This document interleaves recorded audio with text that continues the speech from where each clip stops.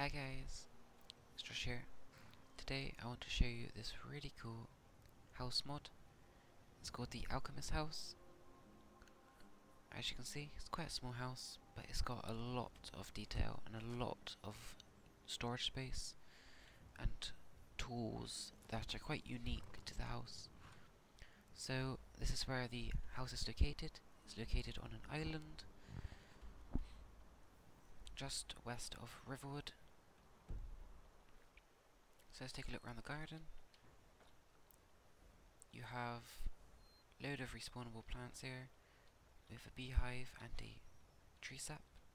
A tree tap to get your sap. You have more respawnable plant nodes this side. Here you have a whole area of respawnable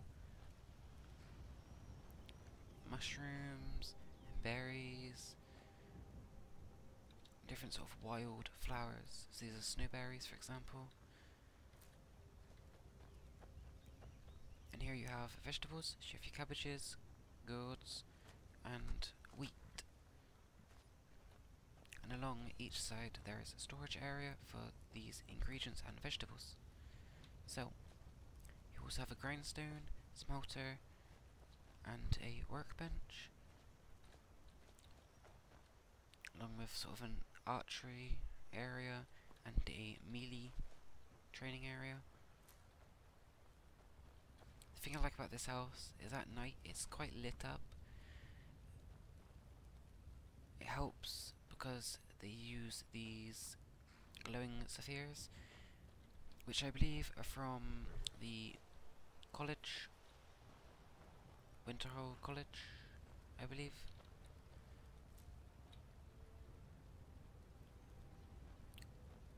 So on this side you have a chest. I haven't tested it, but I believe it's non-respawning, so your stuff should be safe, but do test out if you do download this mod. You just have some tools here that you can use on your chopping block. Also have a blacksmith forge, and a tanning rack. So this is a not just a house for alchemists, but it's a, a good house all around. Now over here you have some respawnable fish nodes, respawnable egg nodes, and let's go in.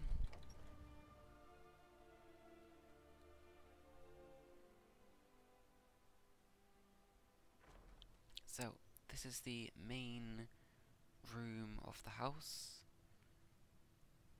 As you can see, it's well lit with lots of storage area.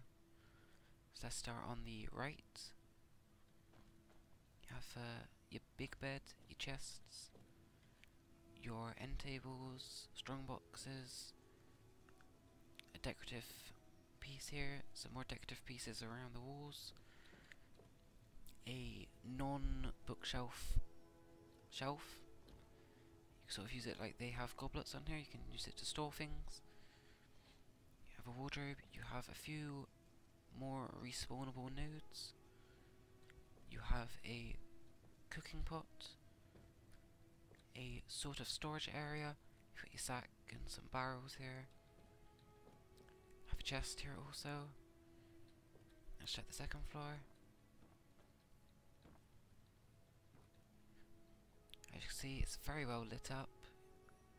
Along the banisters here, you have some display cases, some more storage shelves, some more here, a desk area with a chest, some decorative pieces, a bookshelf full of hidden quest books, not quest books, sorry, level books, skill books. There's a few in there. You have a few respawnable nodes here dotted around. You have a alchemy lab with a sachet, a arcane enchanter with a chest to keep hold of your loot in. Now the thing about this house which makes it really different and unique is it has these planters along the tops of these shelves. These are respawnable, and they are plants, ingredients. Each one is, think, different. I believe is mostly cotton, but there is a variety, and they do respawn.